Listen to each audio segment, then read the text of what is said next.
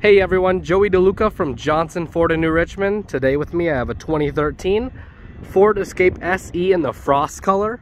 Kind of looks like a light teal baby blue combination, really unique.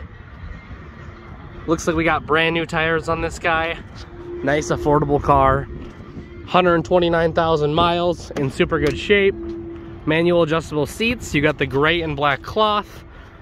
Some all-weather mats up front automatic lights on this guy, cruise control, climate controls in the middle, and that little cutout screen over top.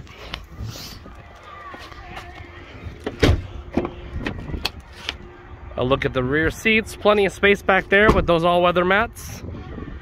Does have a tow package on it, which is super cool. It's four-wheel drive, and these things handle great in the snow.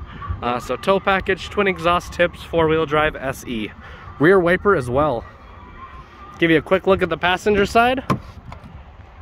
And there you have it. 2013 Escape SE. Again, my name is Joey DeLuca from Johnson Ford in New Richmond. Come on in and take a look or give me a call directly. 715-531-5531. Thanks and have a great day.